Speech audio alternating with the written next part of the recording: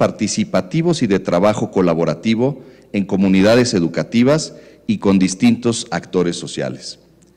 El día de hoy presenciaremos dos momentos. En primera instancia, la presentación general de la obra por parte de las instancias coeditoras, la UNESCO y la Fundación Alberto Bayer. Posteriormente, tendremos un panel sobre la experiencia del modelo social con la participación de autoridades educativas. Y para dar inicio a este programa, escuchemos el siguiente mensaje de bienvenida de Alejandro Bayer, presidente de la Fundación Alberto Bayer y de Grupo Val, quien nos comparte un emotivo mensaje. Adelante con el video, por favor.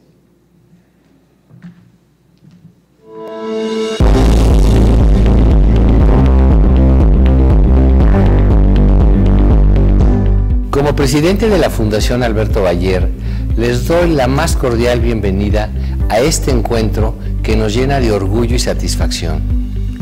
La presentación de nuestro modelo social es resultado del enorme esfuerzo de diversas instituciones y de muchas personas que de manera colaborativa y responsable han trabajado con entusiasmo para contribuir a fortalecer el ejercicio pleno del derecho a una educación de calidad en nuestro país.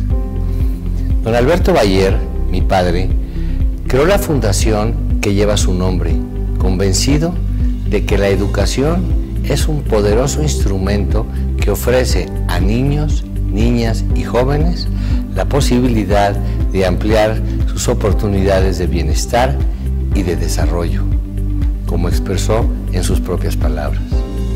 Hoy me corresponde a mí no solo darle continuidad a este valioso legado, sino sobre todo impulsar con fuerza y vehemencia este proyecto tan querido por don Alberto, esta iniciativa que ante todo busca atender puentes de colaboración entre distintos actores sociales para ofrecer mejores opciones de educación pública a nuestra niñez. Si la fundación nació con este espíritu, la realidad nos ha ido presentando grandes desafíos.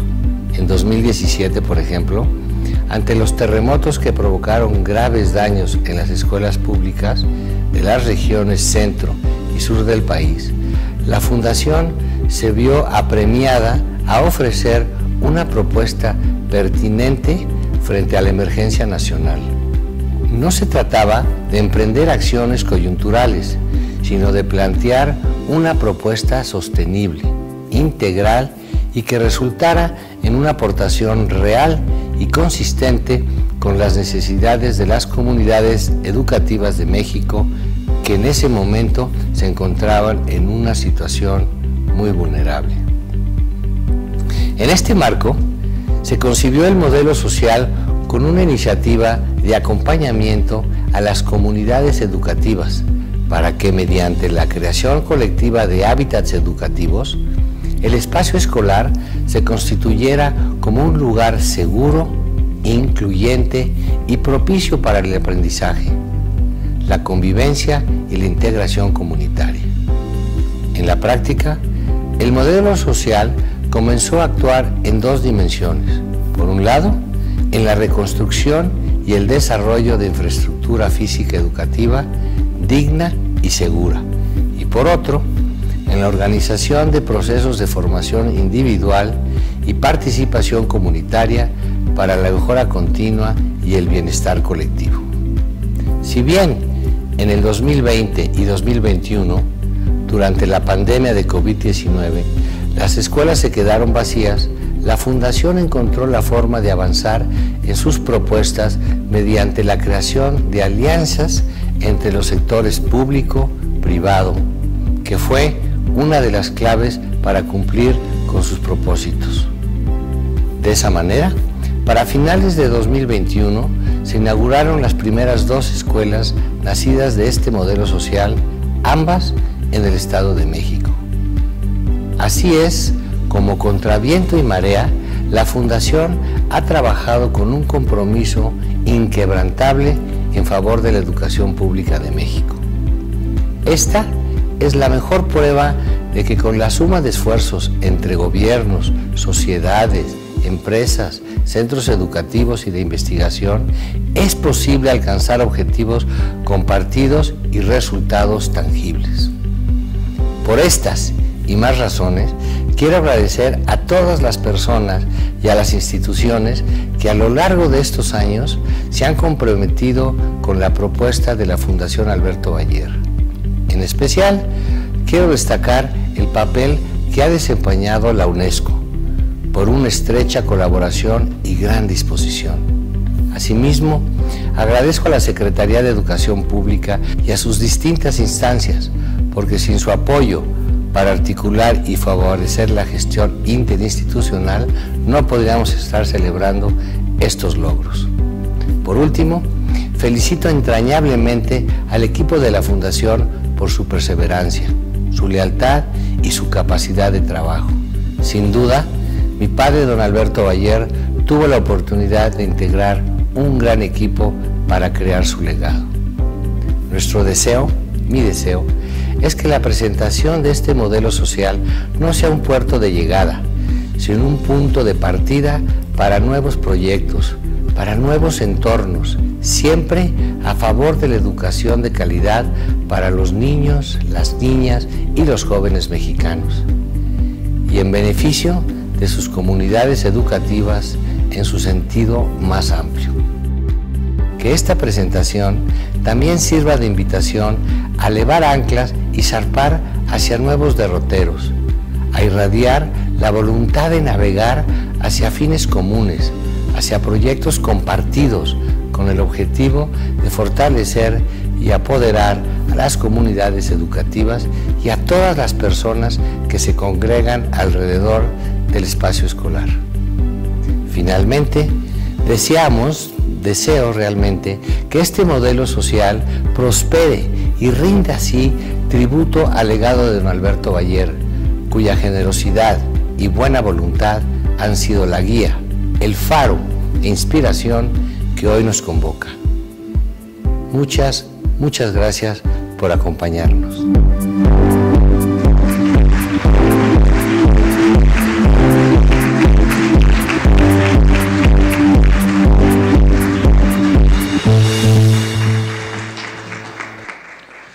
Agradecemos las palabras de Alejandro Bayer, presidente de la Fundación Alberto Bayer y de Grupo Val. A continuación, pido un aplauso para presentar a las autoridades que nos presentarán el contenido de la publicación del modelo social.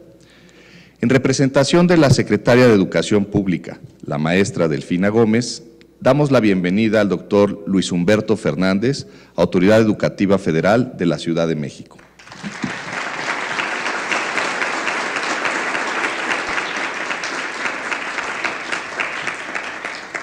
Agradecemos la participación de Frédéric Bacheron, representante de la UNESCO en México, quien nos brindará un mensaje a través de un video, así como la presencia de Rosa Volper, oficial de Educación UNESCO México.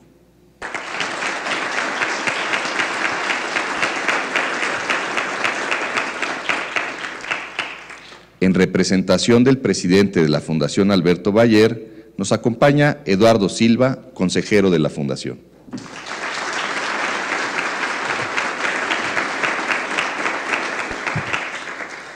También contamos con la presencia de Rosy Gluyas, directora general de la Fundación Alberto Valle.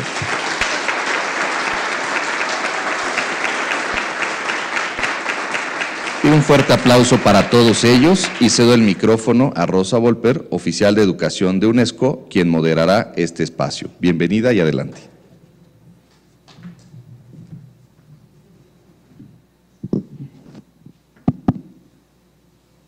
Muchas gracias. ¿Qué tal? Muy buenos días a todas, a todos. Hoy estamos de fiesta. Este ha sido un trabajo, llevamos más de dos años trabajando juntos con la Fundación Bayer para llegar a este día, que como bien se dijo en el mensaje, Alberto, es un punto de partida y realmente nos emociona muchísimo estar aquí. Agradecemos a todos su atención y, que nos acompañen en esta, en esta celebración. Vamos a empezar un poco hoy hablando de lo que es este modelo y eh, después tendremos un panel, eso es lo que tendremos el día de hoy. Eh, en primer lugar, bueno, presentaremos palabras de Eduardo Silva, de la Fundación Alberto Valle, el consejero. Adelante.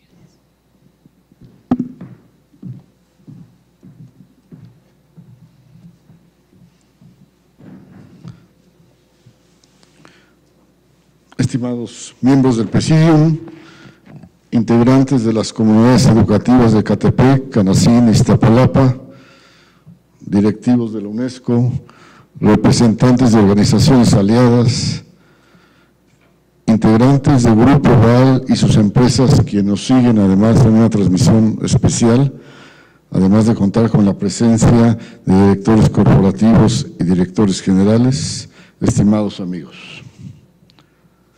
Hoy es un día muy especial para la Fundación Alberto Valleres y para todos los que colaboramos en esta institución. Hoy presentamos a todos ustedes el modelo social desarrollado como una propuesta para el fortalecimiento de comunidades educativas. Este modelo se ha basado en las siguientes premisas. Compartimos con todos ustedes que la educación es la base del desarrollo humano. Sin embargo, pensamos que el proceso educativo no solo ocurre dentro de las aulas, sino que es muy relevante todo lo que suceda en la comunidad educativa. Mucho se habla de reconstruir el tejido social para poder abatir las grandes carencias de nuestro país.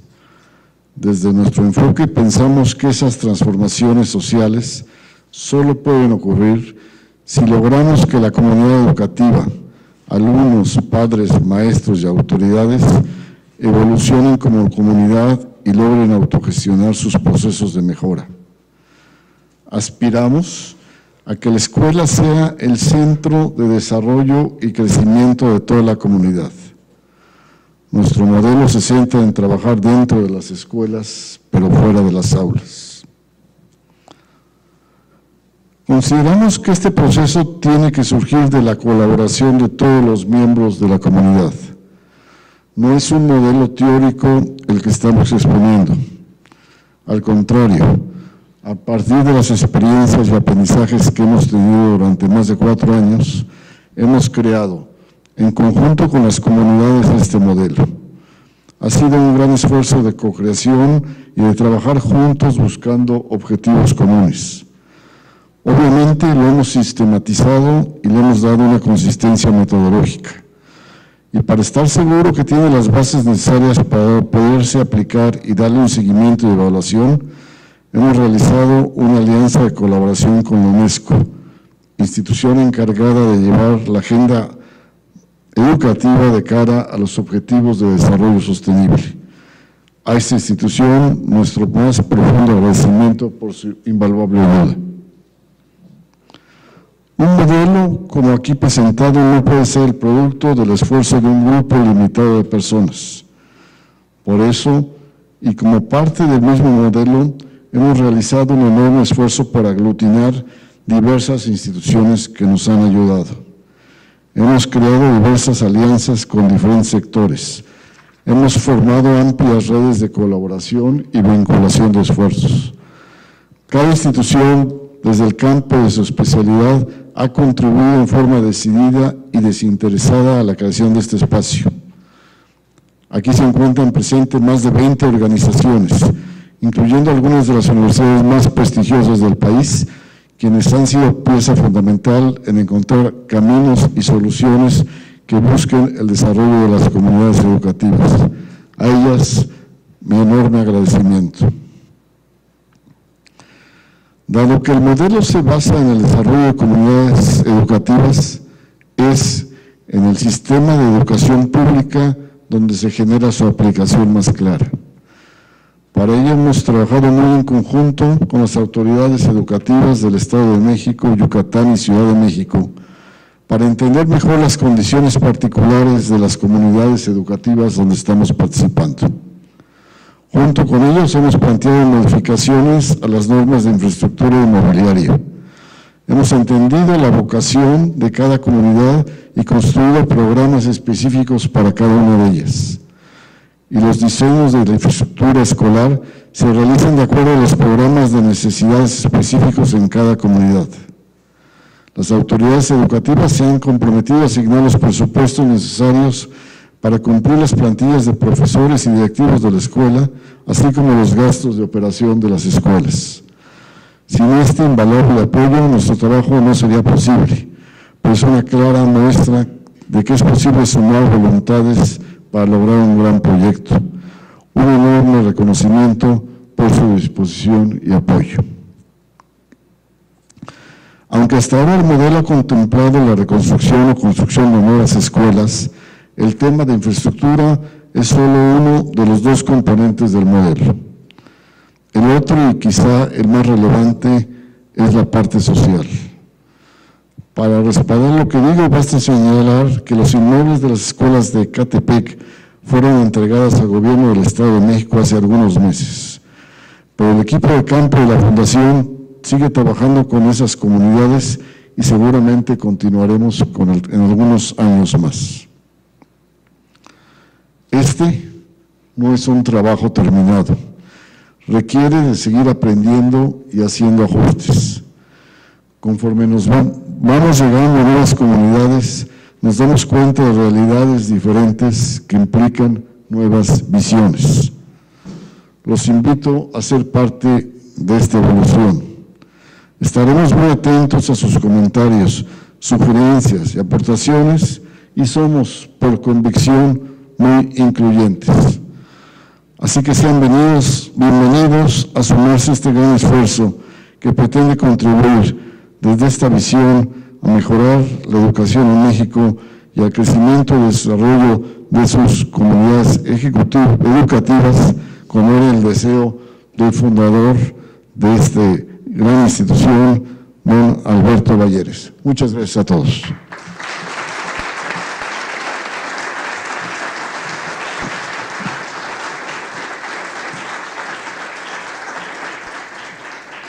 Muchas gracias, Eduardo, por el mensaje. A continuación tendremos un video de nuestro representante, Frederick Bacheron, eh, quien ha dejado un mensaje también para nosotros. Estoy muy contento por llegar a este momento de materialización de un arduo trabajo de la Fundación Alberto Valleres para construir y dar a conocer el modelo social para la transformación de comunidades educativas. Son horas, días y años de diseño e implementación de proyecto de labor comunitaria, de diálogo y esfuerzo intelectual que hoy se concretan en un documento de absoluta relevancia para la UNESCO. Aunque el mérito es totalmente de la Fundación Bayeres, debo decir que desde hace más de dos años nuestra oficina acompaña, asesora y apoya este importante proyecto que la Fundación lleva a cabo en comunidades que requieren de ayuda para transformarse y cerrar brechas de exclusión y desigualdad. Entre la UNESCO y la Fundación Alberto Bayeres tenemos importantes convergencias y punto de encuentro materializado en el modelo social de las cuales quisiera eh, hablarles de manera breve. El primero de ellos es que la Fundación Alberto Valleres y el modelo social comparten los objetivos y metas educativas que establece la Agenda 2030 de las Naciones Unidas. Como ustedes saben, esta agenda plasma los compromisos de la humanidad en favor de un desarrollo sostenible y la construcción de futuros viables en medio de una crisis para la pandemia, la desigualdad económica, la guerra y el cambio climático. Un aspecto centralísimo para ello es la convicción de que la educación debe defenderse y promoverse como un derecho llave o habilitante, es decir, abre la puerta a otros derechos y hace posible un futuro con dignidad. Aunque todos y todas tenemos responsabilidad para garantizar el derecho a la educación, especialmente los gobiernos, la UNESCO ha llamado la atención en los últimos años sobre la importancia que están teniendo los organismos no estatales para avanzar en las metas educativas globales. De hecho, la UNESCO dedicó durante 2020 y 2021 dos informes sobre la educación en el mundo dedicados a la labor de organizaciones de la sociedad civil en la transformación de las condiciones de justicia, desigualdad e inclusión que sufren las comunidades escolares. En América Latina y el Caribe hicimos en 2019 un relevamiento de buenas prácticas de organizaciones de la sociedad civil que están trabajando de manera democrática y comprometida a nivel de colonias, pueblos, escuelas y comunidades. Hoy tendremos que actualizar ese relevamiento para integrar en toda justicia el modelo social de la Fundación Bayeres a ese listado de buenas prácticas a nivel nacional y regional. En ese sentido, a partir de lo que hemos observado en las visitas que hemos hecho a las escuelas y comunidades con las que trabaja la Fundación, podemos decir que el modelo social cuyo bello lema es en comunidad para transformar es un ejemplo cómo se puede defender apasionadamente el derecho a la educación desde el corazón de una comunidad y la acción de la sociedad civil organizada. Un segundo elemento que quiero destacar es el aporte del modelo social a la construcción de alianzas sociales con múltiples actores desde madres y padres de familia, instituciones académicas, gobiernos locales, autoridades federales, asociaciones comunitarias y organismos internacionales. El Objetivo de Desarrollo Sostenible 17 alude justo a ello y hace notar la imperiosa necesidad de sumar fuerzas entre actores sociales para lograr objetivos globales y locales. La Fundación Bayeres, liderada por Rosy Grullas, es especialista en sumar fuerzas porque nos convoca y articula a muchas organizaciones para llevar a cabo un trabajo complejo como es la construcción de este modelo. Y un tercer elemento tiene que ver con el impulso al desarrollo de innovaciones de, la mano de las comunidades educativas en posición de igualdad. No hacer innovaciones con las comunidades, sino innovar con las comunidades. Como podrán ver de manera más detallada en quienes hablarán después de mí, el modelo social de la Fundación Alberto Balleres fundamenta su tarea de innovación en este principio rector. Y además, por si todo esto fuera poco, responde a la necesidad de crear entornos educativos sostenibles, pacíficos, incluyentes y adecuados para el aprendizaje mediante una aportación pedagógica y arquitectónica denominada la construcción del hábitat educativo noción clave para entender lo que hoy tendrá que ser todas las escuelas de México y del mundo. La colaboración con la Fundación Alberto Balleres nos ha permitido a quienes trabajamos en la UNESCO extraer lecciones muy importantes sobre construcción de esperanza en contextos históricamente vulnerados. Quiero despedirme trayendo a la memoria de esta sala a don Alberto Balleres, quien siempre mostró un profundo compromiso con México y especialmente con la educación. Su sueño de ofrecer herramientas de transformación desde y con las comunidades hoy se ve cristalizado en este modelo social y en la labor que cada día lleva a cabo su excelente equipo. Don Alberto debe estar orgulloso de que su sueño y su legado están rindiendo frutos. Para todas y todos ustedes, mis felicitaciones y nuestro deseo de seguir trabajando juntos. Muchas gracias.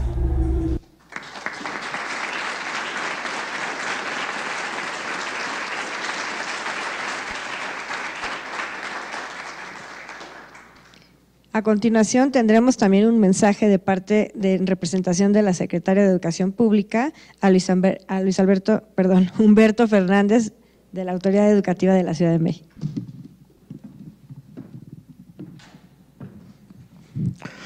Buenos días. Bueno, a nombre de la Secretaria de Educación Pública, agradecemos muchísimo la invitación, pero además de agradecer la invitación al evento, agradecemos ser parte, que todos seamos parte de un esfuerzo muchísimo más grande para un reto que es muchísimo más grande que todos, todas y todos nosotros, que es la, educación. Y, eh, también quiero saludar a la distancia con mucho cariño y con mucho reconocimiento a Alejandro, que ha mantenido un esfuerzo extraordinario para mantener estos proyectos, a Lalo, que ha sido un motor fundamental. En nombre de la Secretaría te agradecemos y te reconocemos todo este trabajo y también de manera muy especial a ese tornado fuerza de la naturaleza que es Rosy. un aplauso, por favor.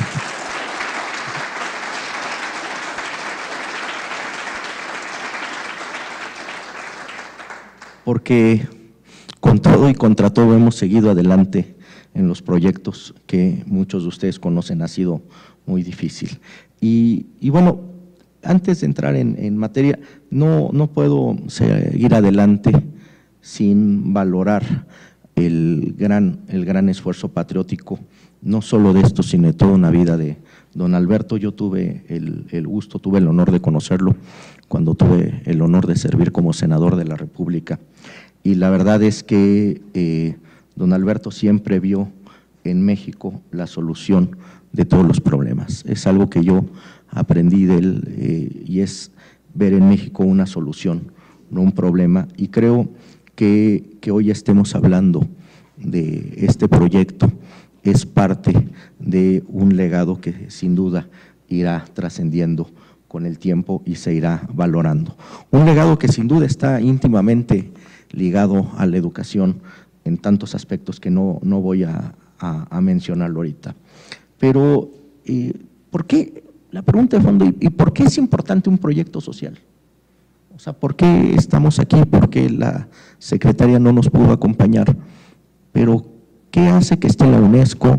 ¿Qué hace que esté eh, eh, la Secretaría de Educación Pública en representación?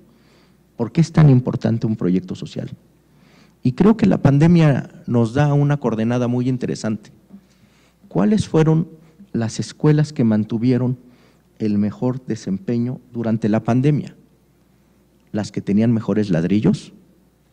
No, fueron las que tenían comunidades más comprometidas y las que tenían comunidades más participativas.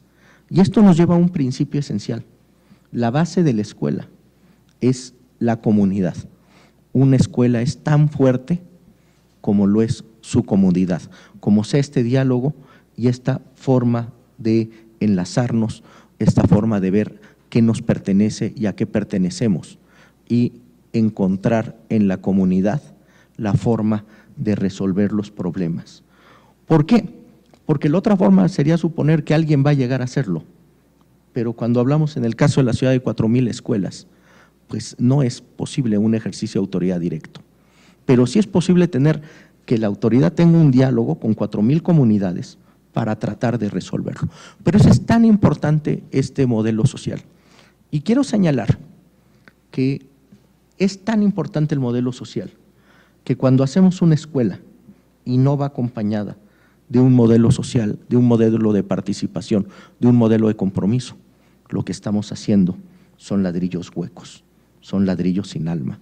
La única posibilidad de darle viabilidad a cualquier proyecto de infraestructura es sin duda a través del trabajo comunitario. Pero esto se dice muy fácil. La pregunta de fondo es cómo hacerlo y cómo hacerlo bien. Y eso es la gran aportación del, del, modelo. Se señalaba ahorita en el video, el modelo no solo ha sido analizado y celebrado por la UNESCO, fue presentado por, eh, por Rossi en, la Universidad de Alcalá, dentro de un programa de postdoctorado en el que participaron seis exsecretarios de Estado de otros países. Entonces es un modelo que tiene una base sólida académica, pero también tiene la experiencia en las calles, tiene la experiencia en Ecatepec, en Yucatán, en la Ciudad de México. No es nada más el tema de qué nos, nos dicen los libros. Pero bueno, como todas las participaciones se agradecen, pero solo las breves se agradecen de corazón. Entonces, eh, no me queda más que nuevamente felicitar a todo el equipo de la Fundación Bayer y eh, estamos seguros que con esto seguiremos honrando el legado de don Alberto. Es un extraordinario trabajo que ya está rindiendo frutos. Felicidades a todo el equipo de la Fundación y muchísimas gracias.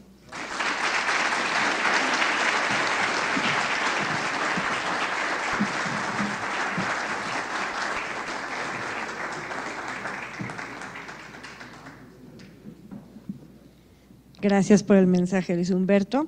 Y bueno, a continuación pasamos la palabra a Rosy Luyas, mi tocaya, quien nos va a explicar cómo es este modelo y cómo ha sido la creación de, lo que hoy estamos presentando.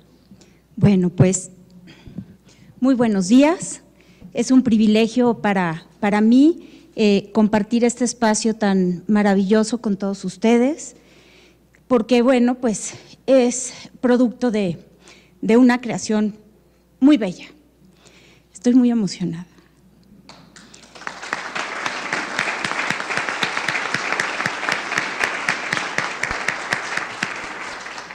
Pero evidentemente, pues, el alma de don Alberto está aquí.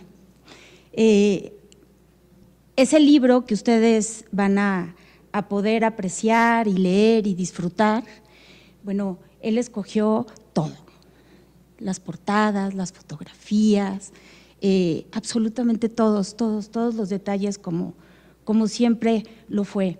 Entonces es un regalo muy bello no solamente para este país, sino también para quienes tengamos la oportunidad de, de poderlo leer y disfrutar. Entonces, pues, se los recomiendo muchísimo. Bueno, voy a procurar ser breve, mi querido Luis Humberto, pero, pero sí es importante compartirles cuál es el contenido de la obra que van a poder ustedes apreciar. Eh, es evidentemente un modelo social, producto, como lo comentaba Lalo, eh, mi gran consejero y, mentor en todo este proceso, que no solamente tiene implicaciones técnicas y metodológicas, sino que es producto de todo un recorrido, una vivencia, un aprendizaje en campo, un ejercicio de profunda escucha, de humildad, de acercamiento, de vinculación y de creación de lazos muy, muy profundos con las comunidades educativas gracias a las autoridades educativas quienes nos han abierto las puertas en todo momento y gracias también a las organizaciones aliadas, universidades y centros de investigación que han sido pieza fundamental para poder crear todos juntos, como era el sueño de don Alberto, este esta gran propuesta. Bueno, nuestro modelo parte de cuatro principios. El primer principio aborda lo que le hemos llamado nosotros educación y desarrollo humano. Y el modelo social de la Fundación Alberto Bayer propone este enfoque de desarrollo humano porque parte de la profunda convicción de que en el centro están las personas, está el individuo en todas sus dimensiones, en su dimensión intelectual, física, emocional, espiritual.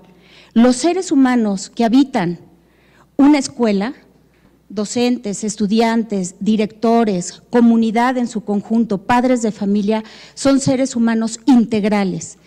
Y por eso el enfoque de educación y desarrollo humano es el principio número uno, porque nos permite que el modelo sea integral, sostenible en el tiempo, que abarque, por supuesto, los planos tanto individual como colectivo, comunitario, social, que permita pues expandir las posibilidades y el potencial de todas las personas que integran a las comunidades educativas, pero también al mismo tiempo promueve la inclusión y la diversidad. Permite una mejor distribución de la riqueza, favorece la justicia social y refuerza el importante papel que tienen las comunidades para alcanzar su propio desarrollo. El segundo principio es el fortalecimiento comunitario, en donde a través de la vivencia del modelo social podemos reconocer las potencialidades de una comunidad. La Fundación Alberto Bayer no eh, llega a las comunidades a imponer. La Fundación Alberto Bayer llega a las comunidades a co-crear, a escuchar con humildad, a trabajar en conjunto, a acompañar un proceso de comprensión y de entendimiento de un contexto, de una realidad. ¿Para qué? Para que todos de manera conjunta podamos diseñar alternativas, propuestas de solución y, por supuesto, a través del desarrollo de capacidades tanto individuales como colectivas, las comunidades tengan la posibilidad de ellas mismas ser actores de su propia transformación. No es la fundación la protagonista, ellos son los principales protagonistas de generar la transformación social que tanto anhelan. Y nosotros siempre partimos de una premisa. Una comunidad educativa no se define únicamente por lo que es, sino por lo que puede ser. Y ahí entra todo un horizonte de esperanza que es fundamental en el marco de este modelo. El tercer principio tiene que ver con el enfoque sistémico. Una comunidad educativa es un, es un sistema extremadamente complejo. Nosotros no podemos eh, implementar el modelo social sin tener previamente el análisis de todo un contexto a nivel federal, estatal, regional, local, en diversas aristas y con ópticas también muy diversas que nos permitan tener un enfoque integral de la complejidad del fenómeno social que se está viviendo. Por ello, a través de esta visión y de este enfoque sistémico, pues evidentemente las comunidades educativas convocan a la acción, diseñan, ellas mismas planean, colaboran, ejecutan y promueven su transformación social. Por eso el modelo social acompaña pues este desarrollo comunitario con este enfoque sistémico en un contexto sumamente complejo, pero en donde la transformación es posible. Y nos decía don Alberto cuando estábamos diseñando todo el modelo, no nos hemos equivocado en los lugares y en los contextos que hemos elegido, porque hay que estar donde nadie puede o quiere estar. Ahí es en donde tenemos que poner la mano y enfrentarnos a la realidad, una realidad que puede ser transformada con esperanza, pero también con mucha inteligencia y mucha paciencia. Y el último principio tiene que ver con la innovación social. Y la innovación social, eh, en el marco de nuestro modelo, tiene que ver justamente con este proceso de involucramiento que tenemos con las comunidades, con este trabajo de articulación de esfuerzos, con este trabajo de respeto, de análisis, de verlas siempre al máximo de su potencial. En este modelo, la comunidad educativa es visualizada como un gran ente que puede transformar su propia realidad, no como una comunidad que no tiene esperanza o que no tiene posibilidad. Al contrario, no hay superior ni inferior. Todos nos vemos a los ojos. Nuestro maravilloso equipo de campo hace un trabajo maravilloso de vinculación humana, de entendimiento constante y profundo. Y esa es innovación social. La innovación social, como muchas veces lo ha comentado mi querido Luis Humberto, va más allá de un enfoque tecnológico, es cómo innovamos en ese contacto y en ese entendimiento del otro, en esa escucha activa, en ese respeto, en esa empatía, en esa ética, en esa ciudadanía.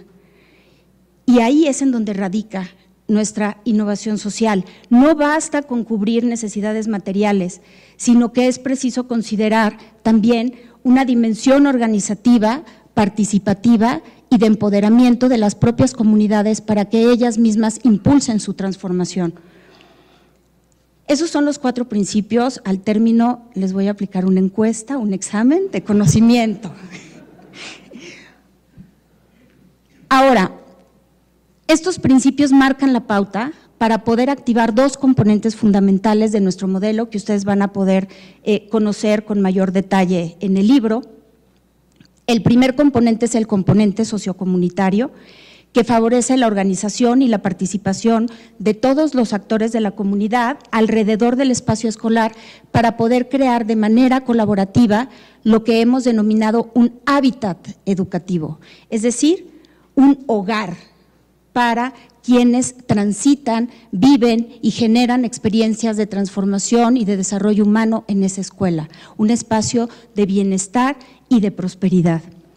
El segundo componente tiene que ver con el componente de infraestructura física educativa, en donde nuevamente la Fundación no llega a imponer, la Fundación co-crea bajo un enfoque colaborativo, se realiza un diseño participativo con diversos actores de la comunidad, con autoridades educativas, siempre con los estándares en materia de infraestructura física educativa y en innovaciones que hemos realizado con la ayuda, con la confianza tanto de las comunidades educativas como de las autoridades que aquí nos acompañan.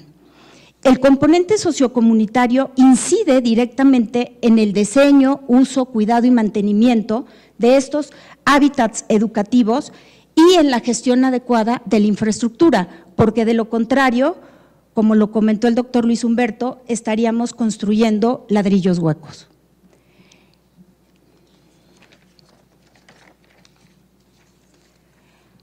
Ahora bien, ¿y cómo activamos todo esto? Ya hablamos de los cuatro principios, ya hablamos de los dos componentes, pero evidentemente en un trabajo de esta naturaleza existe estrategia. Y partimos de cinco estrategias.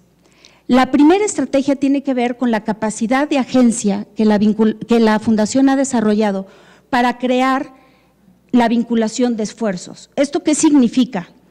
Que intercedemos, actuamos, convocamos, eh, tejemos redes de colaboración interinstitucionales, intersectoriales, impulsamos la búsqueda de acuerdos y voluntades en diferentes escenarios de nuestro país, en diferentes sectores, con las autoridades federales, estatales, locales, entre las propias comunidades, con organizaciones de la sociedad civil, centros de investigación, universidades, porque como lo comentó Lalo Silva, este es un esfuerzo en el que todos juntos como mexicanos debemos de eh, unir nuestras capacidades y potenciarlas al máximo.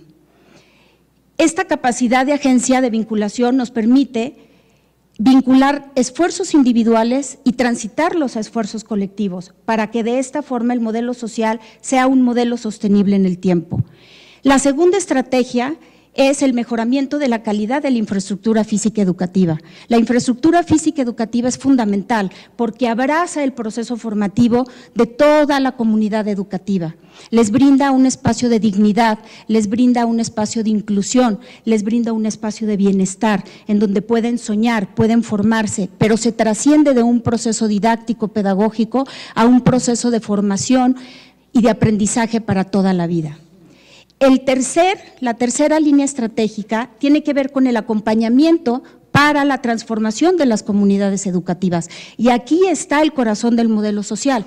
Es el trabajo que realiza todo nuestro equipo de campo día a día de la mano de las autoridades educativas, de las estructuras organizativas de las propias comunidades y de actores relevantes que son aliados de este proyecto en cada uno de los contextos en donde se lleva a cabo y se desarrolla.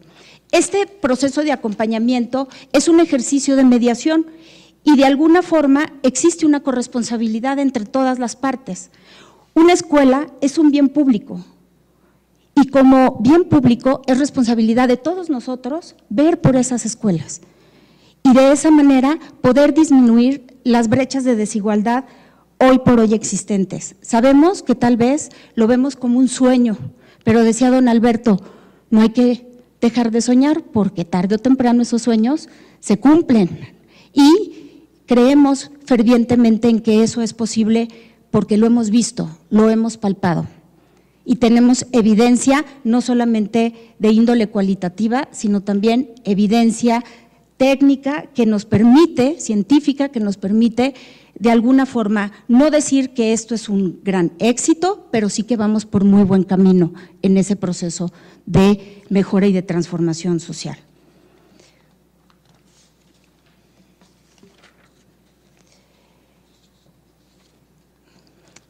El cuarto, la cuarta estrategia es la integración de los aprendizajes. Todo lo que hemos vivenciado a lo largo de cinco años de diseño y de implementación, pues hoy se comparte en esta publicación que ustedes van a poder eh, apreciar, leer, reflexionar, interiorizar. Próximamente tendremos una segunda publicación en donde se van a reflejar todos los resultados de la observación y del proceso de sistematización que estamos emprendiendo no solamente en las comunidades donde iniciamos el desarrollo del modelo social, sino también en las comunidades de Yucatán y de la Ciudad de México. Y lo más importante es que esa integración de los aprendizajes sea continua, que nunca demos por sentado que ya aprendimos y que ya lo hicimos todo y que somos wow, de ninguna manera. Al contrario, cada día tenemos una mayor responsabilidad de seguir aprendiendo y de seguir co-creando de la mano con todas las organizaciones, con las autoridades educativas y principalmente con las comunidades educativas. Y por último, la quinta línea estratégica es la transferencia e intercambio del conocimiento, que es lo que estamos haciendo el día de hoy, porque lo que nosotros queremos es generar redes de colaboración, generar un andamiaje que nos permita poder impulsar la educación pública de nuestro país, activando estas interacciones humanas con un futuro prometedor, pero también con mucha conciencia de cuáles son las necesidades de los contextos educativos de nuestro país, de la diversidad a la que estamos atendiendo, para que esto verdaderamente pues contribuya a una mejora en nuestro entorno, en nuestro país, en la prosperidad y disminuya la brecha de desigualdad que existe en nuestro, pues en todo nuestro querido México, como decía don Alberto. Por último, quiero decirles que gran parte fundamental de todo este proceso tiene que ver con una responsabilidad de poder medir y evaluar los resultados a corto, a mediano y a largo plazo. Una transformación social no se da de la noche a la mañana, tienen que pasar décadas para, para ver esos cambios. Sin embargo, sí les podemos decir, quienes hemos estado trabajando de la mano con las comunidades, y probablemente los científicos pues nos criticarán un poco, ¿verdad? Pero, pero, cuando tú vas un primer día y te sientas frente a un niño y le ves esos ojos de desesperanza, y después de activar una serie de experiencias, de realizar transformaciones en su entorno, de capacitar a docentes, de capacitar a los padres de familia, de que ellos mismos se activen y generen sus procesos de transformación, cuando vas un mes después, no tiene que pasar años ni una década, esas miradas son diferentes. Y esas miradas saben qué nos dicen que sí se puede y que sí creen en ellos mismos y que sí creen en que ellos pueden ser motor de su propia transformación y de la construcción de su vida, del ejercer esa libertad para poder trascender como seres humanos y ser actores de cambio en nuestra sociedad. Muchísimas gracias.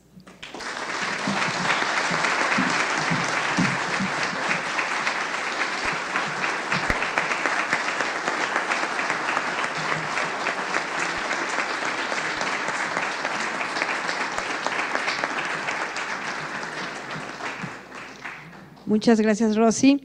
Y bueno, eh, tenemos un espacio breve. Si alguien quisiera preguntar algo de lo que, de lo que nos contó Rosy, no sé si hay alguien que, quiera hacer por aquí alguna pregunta o si nos llegó, nos llegó alguna pregunta en, en las… No nos Ok, gracias, Leti.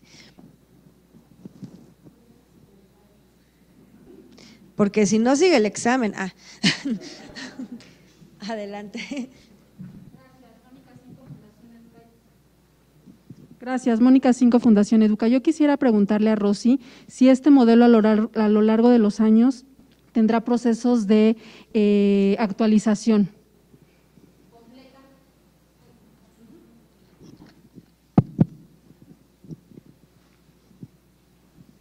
Absolutamente, es un, es un modelo vivo. Eh, una de las grandes eh, encomiendas de don Alberto era, esto tiene que ser un proceso vivo de aprendizaje continuo.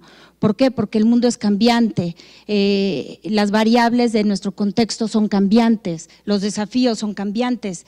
Este modelo nace con los sismos y concluye su primera fase en una pandemia, ¿no? en una situación de emergencia.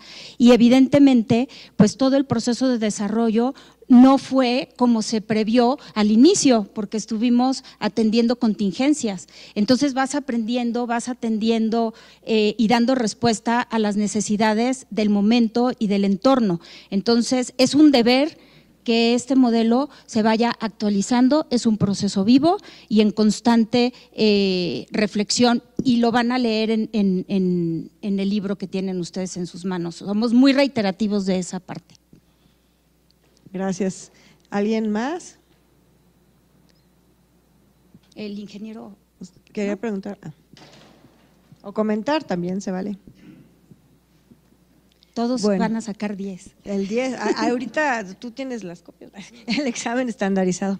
Este, no, muchísimas. Ah, bueno, claro que sí. Adelante.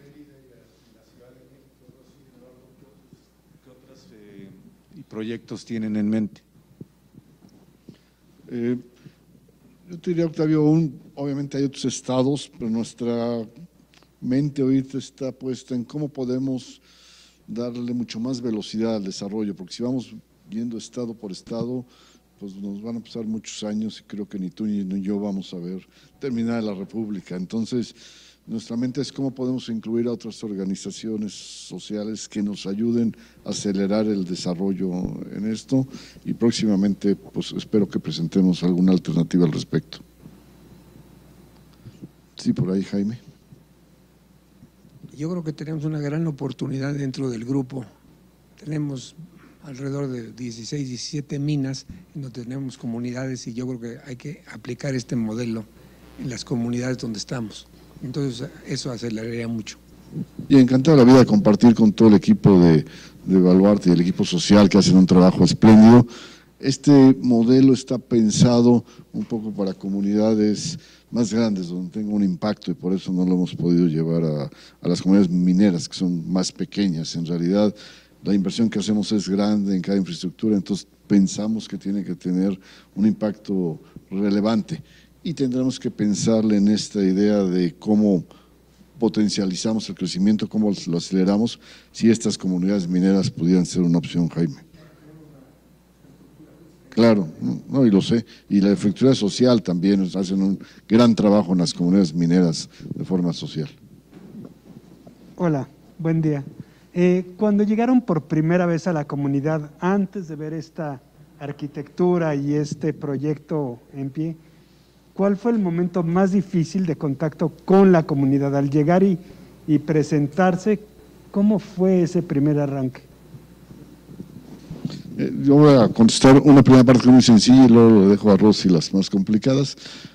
La primera fue muy sencilla porque era el sismo y entonces las escuelas estaban destruidas, las primeras que llegamos, por ahí empezamos.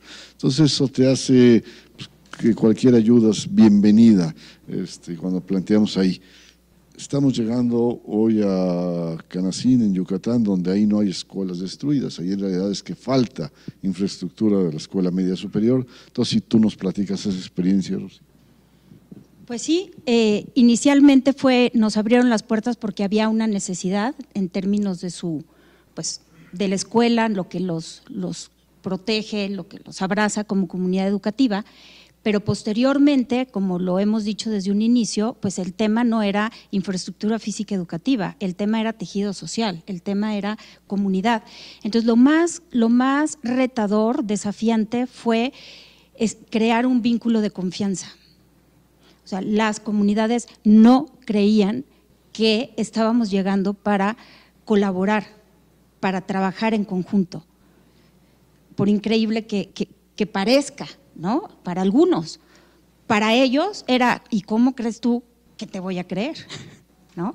Entonces fue todo un trabajo de muchísimo acercamiento, eh, un trabajo de escucha, de, vinculación, de diálogo, de integración, de inclusión a diversos actores comunitarios en conjunto con las, con las autoridades educativas. Nos tardamos un año para poder llevar a cabo los eventos de la primera piedra.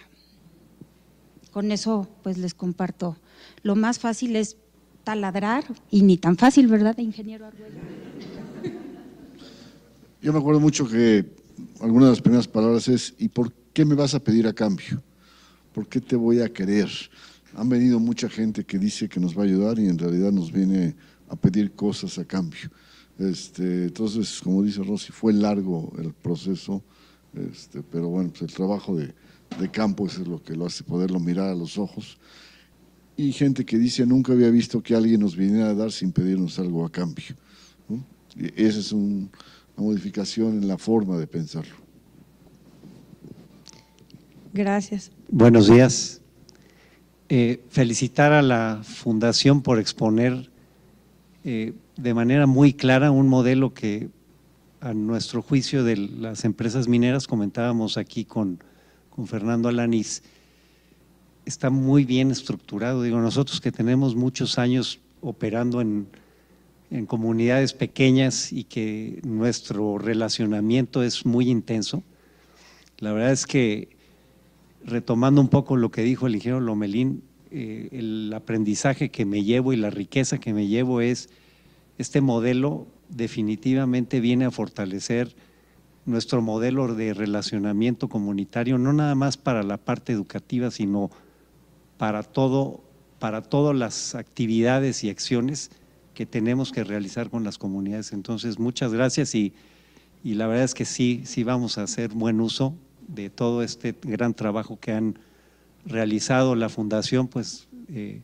liderada por nuestro querido don Alberto Bayer. Muchas gracias. Gracias, Rafael. Lo único que te recomiendo es que no le abras mucho la puerta a Rosy porque luego no sabes lo que te espera. ¿eh? Al torbellino.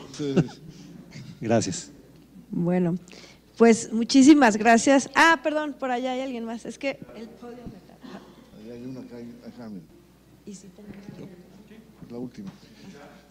Dos. Soy José Ángel Quintanilla de IBI. Agradezco enormemente a la Fundación Balleres todo el esfuerzo. Agradezco que nos hayan tomado en cuenta para poder colaborar en la preparatoria 94, igual que hemos colaborado en Fresnillo eh, desde hace unos 10, 11 años. Eh, estamos muy orgullosos de poder aportar nuestro grano de arena para construir una sociedad más participativa, más involucrada en crear comunidad en resolver los problemas de la comunidad a partir del individuo. No se nos puede olvidar que el individuo es la base fundamental, es la célula original para poder desarrollar esto. Muchas gracias. Gracias por tus comentarios.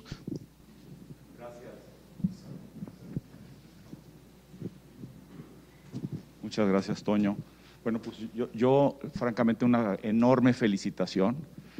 La verdad es que me, siento profundamente orgulloso de ser un baleño eh, y, de seguir los, la, inspiración de don Alberto. Y, yo cuando te escuchaba, Rosy, eh, pensaba en, la, en este, y, en, y en este desdoblamiento que se está buscando hacer, pues la verdad creo que en el grupo somos más de 70 mil baleños y nuestras familias. Y a mí me encantaría pensar dentro de nuestros planes y programas de, de contribución a la sociedad y de sostenibilidad, eh, de involucramiento en los voluntariados, cómo podemos ayudar para impulsar y además concientizar, porque eso yo lo, vi, lo que he visto cuando te involucran los colaboradores, pero y luego involucramos a las familias de los colaboradores, me parece que hacemos propio el sueño de don Alberto de crear un, un México mejor. Entonces ahí lo dejo como una idea. No te voy a pasar la palabra a Luis Humberto, porque te quiere tomar la palabra y ya sé por dónde va a ir, entonces no estoy tan seguro de que quiera tomar la palabra.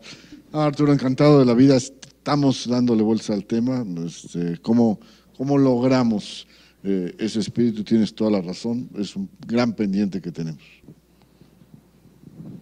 Gracias. Bueno, con esto concluimos esta primera sesión. Vamos a tener dos minutos nada más para cambiarlos nosotros y que suban los panelistas.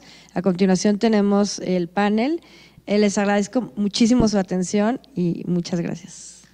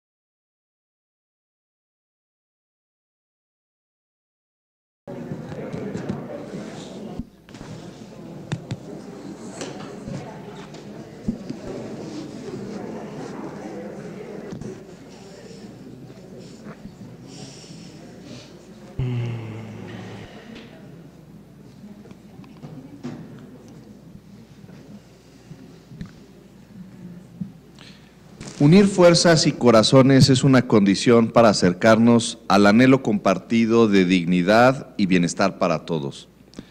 Como lo ha destacado la Organización de las Naciones Unidas, crear alianzas sociales eleva la posibilidad de alcanzar metas compartidas, entre ellas una educación de calidad en ambientes dignos y seguros.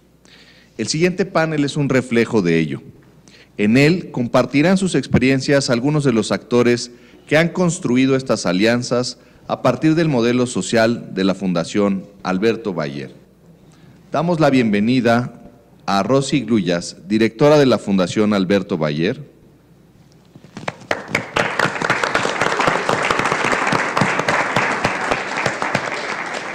Israel Jerónimo, subsecretario de Educación Media Superior del Estado de México.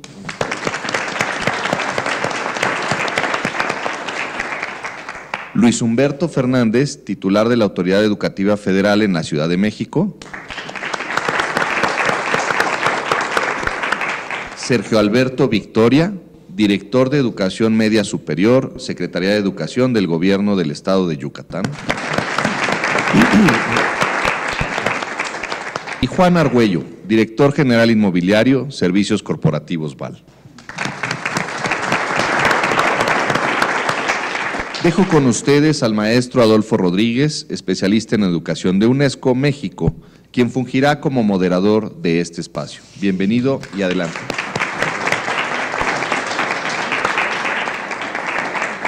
Muchas gracias. Buen día a todas y todos. Bueno, damos la bienvenida a este panel que se ha denominado Crear alianzas en favor de la educación, cuyo objetivo es dialogar con nuestros panelistas, eh, en torno a dos grandes temas. El primero tiene que ver con la educación en situaciones de emergencia, con el derecho a tener una educación inclusiva, equitativa y de calidad en cualquier condición en que se encuentre las personas y las poblaciones.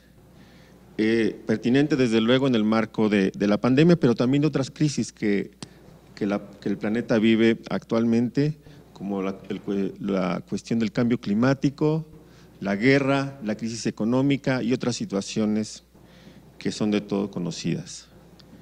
El segundo tema que nos ocupará en este panel tiene que ver con las alianzas que hay que hacer entre todos los sectores sociales para superar estas crisis y avanzar hacia el desarrollo, el bienestar y la recuperación en todos los, ámbitos de la vida humana. Bueno, tendremos un, panel en, ese sentido para dialogar sobre estos dos temas. Eh, cada pregunta, cada tema eh, nos abarcará más o menos un espacio de 20 minutos, eh, donde cada uno de, nuestros invitados expondrá su punto de vista sobre estos temas. tendrán también la posibilidad de hacer un comentario o una réplica a lo que cada uno de los demás integrantes eh, exponga y después haremos un cierre general sobre los temas. Bueno, para iniciar la discusión vamos a, ver un pequeño video que encuadre el diálogo eh, y a continuación los invitamos a verlo. Por favor, el video. Una escuela es una promesa. Una niña o un joven que transita por sus aulas es una esperanza. Una madre o un maestro comprometido es una inspiración. Una comunidad escolar unida y solidaria es una oportunidad para trabajar juntos en comunidad para transformar. Don Alberto Bayer tuvo una fe inquebrantable en el presente y en el futuro de México. Siempre confió en sus sueños.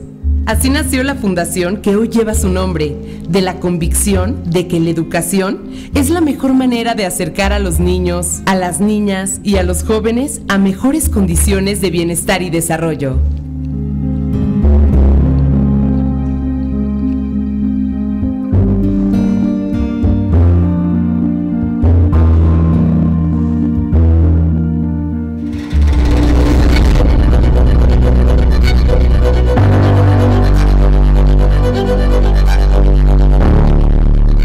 Coyuntura de los sismos de septiembre de 2017 en México impulsó los esfuerzos de la Fundación Alberto Bayer hacia la reconstrucción de algunas escuelas afectadas. Guiada por la sensibilidad del propio don Alberto, la Fundación se planteó entonces que la reconstrucción de las escuelas debía ser mucho más que un acto de solidaridad.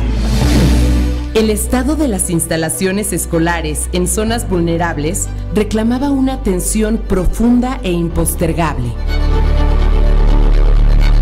En su momento, el equipo de la Fundación identificó que la construcción de las escuelas generaba una gran energía social que nacía de la ilusión y la esperanza de los niños y las niñas, de los jóvenes y de sus familias, del personal docente y de los vecinos.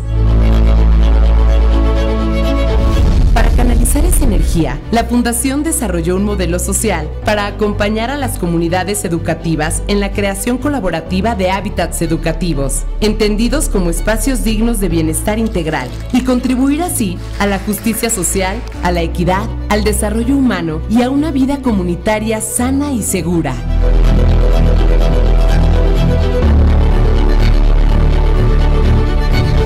Mediante el diálogo comunitario constructivo y el desarrollo de capacidades individuales y colectivas, la operación del modelo social ha logrado que esa participación entusiasta y responsable de la comunidad educativa transite hacia una transformación real y sostenible. A la luz de este modelo social, la Fundación Alberto Bayer ha celebrado la inauguración de las dos primeras escuelas, la Escuela Primaria Amado Nervo y la Preparatoria Oficial 94, así como la rehabilitación integral del Complejo Educativo La Presa en el municipio de Ecatepec, en el Estado de México.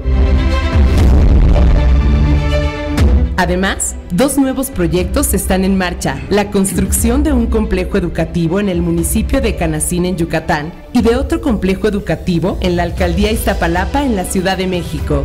Estas iniciativas serán la punta de lanza de los nuevos proyectos que se desarrollen en otras localidades podemos afirmar que la construcción de los hábitats educativos no solo ha contribuido a rescatar la dignidad de los espacios escolares, sino que también ha despertado la grandeza de muchas personas comprometidas con el futuro de sus comunidades.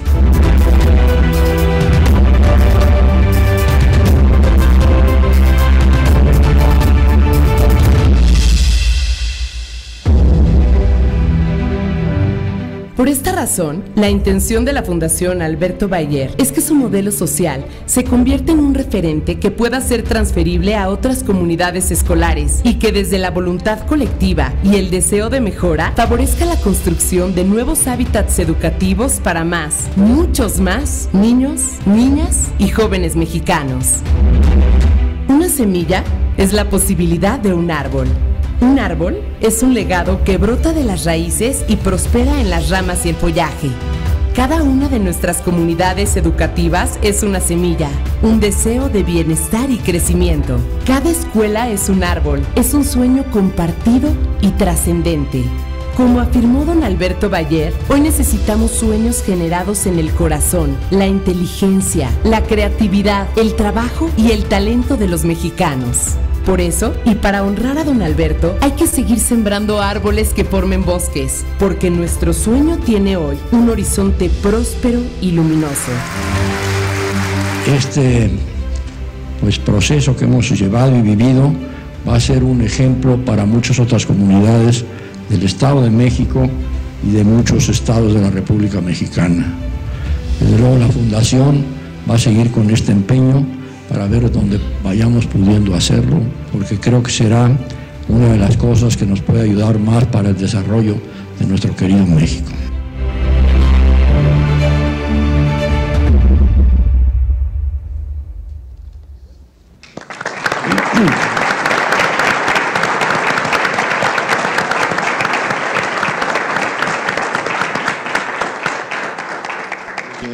Bueno, quisiera ubicar eh, la experiencia del modelo eh, el modelo social, en este contexto complejo que ustedes pudieron ver al inicio de los terremotos del 2017, porque como ustedes saben, eh, la UNESCO y las Naciones Unidas han señalado que las situaciones de riesgo y de emergencia no van a parar.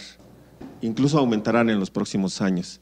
Y nuestro continente, y México por supuesto, es eh, una región, un país donde estas situaciones se incrementarán en el futuro, ya sea por cuestiones de como el terremoto del 2017, pero también tenemos situaciones de huracanes, tsunamis, desplazamientos y cuestiones sociales como migraciones, desplazamiento por violencia, conflictos armados y otras cuestiones semejantes. Eh, desde luego, el tema no es que ocurran esas situaciones, a veces eh, inevitables, sino cómo estamos preparados para ello. Como un país, una institución, una comunidad puede estar preparado para evitar vulnerabilidades. No es lo mismo, han señalado las Naciones Unidas, que un terremoto o un tsunami ocurra en un país como Japón que ocurra en Haití. Eh, porque puede llevar a una comunidad a recuperarse rápidamente, en un caso, y a otra en llevar décadas en recuperarse de la situación catastrófica. En ese sentido, eh, quiero ubicar Mm, la reflexión y la pregunta que, a continuación haré a nuestros panelistas en este contexto de, eh, eh, crisis, en un contexto de emergencia que enfrentó eh, el modelo, como bien lo han relatado ya anteriormente, y también mediante las intervenciones que ustedes han hecho, de cómo el modelo llega a un contexto difícil. Pero quiero preguntarles para el contexto en particular de ustedes, eh, de sus entidades, de sus organizaciones, ¿qué representa eh, el modelo social de la Fundación Alberto Bayer para mantener el derecho a la educación, aún en contextos difíciles como el del 2017, pero como el contexto también complejo que puede enfrentar nuestro país en los siguientes años. Entonces, eh, quiero darle primero la palabra a Juan Argüello, para que nos haga sus comentarios al respecto, por favor. Muchas gracias. Espero que me oigan. Sí, tengo el Bueno, yo quisiera compartirles algunas experiencias en la aplicación del modelo y en cómo atacamos la emergencia. Nuestra principal preocupación cuando llegamos y vimos lo que nos encontramos y que ustedes vieron ahí en el video, como esas lonas o carpas en una condición muy precaria en las escuelas fue tratar de dar continuidad a la educación en ese sentido. Y de las primeras cosas que hicimos fue, además de dar continuidad, dar credibilidad ante las preguntas que hace rato decían, ¿cómo podemos lograr esa credibilidad? Y una de ellas fue, instalamos unas aulas provisionales. Déjenme platicarles la experiencia ante la condición de las aulas provisionales que pusimos, la gente y los niños que estaban viendo la instalación de esas aulas creían que ya era el proyecto definitivo. Imagínense dónde estaba la expectativa de esta sociedad cuando empezaron a ver aulas provisionales, que para nosotros eran aulas armadas con lámina, pero bien hechas, digamos, y donde no tenían expectativa de otra cosa, tanto que pensaban que ya era la escuela definitiva. Entonces, eso nos permitió, además de dar credibilidad en una respuesta de emergencia rápida, nos permitió también generar expectativa, hacer que la sociedad pensara y viviera sus sueños y pudiera pensar en otra cosa más allá de lo que el entorno les estaba en ese momento rodeando. Por otro lado, también comentarles que ante la emergencia tratamos de generar un impacto positivo en la comunidad a través de tratar de traer a la gente trabajo. Por ejemplo, empezamos a establecer un proceso de, reclutamiento de la gente de la misma zona para que pudieran trabajar con nosotros en los procesos de reconstrucción. Déjenme platicarles que una mamá en particular del jardín de niños, y es una experiencia muy importante para nosotros, la hicieron hasta supervisora de uno de nuestros contratistas. Imagínense a dónde llegó el impacto de este proceso de contratación y de involucramiento de la sociedad, que una mamá de jardín de niños llegó a ser supervisora de uno de nuestros contratistas. De, de, esa manera tratamos de generar credibilidad, pero también empezar a demostrar el beneficio que todo el proceso de construcción y de generación de este hábitat educativo que platicaba Rosy hace rato fue impactando de cada vez de mejor manera a la sociedad. Esa es mi aportación.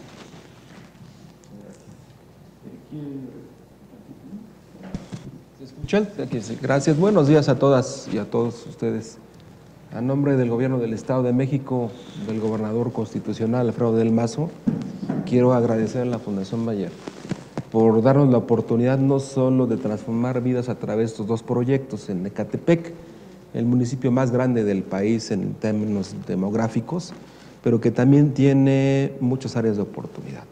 Se hacía la pregunta que qué es lo que dejó el sismo del 17, prácticamente cuatro días de haber tomado posesión el gobernador Alfredo del Mazo, se viene el tema del terremoto, del sismo del 19 de septiembre del 17, lo que dañó alrededor de 4.900 escuelas.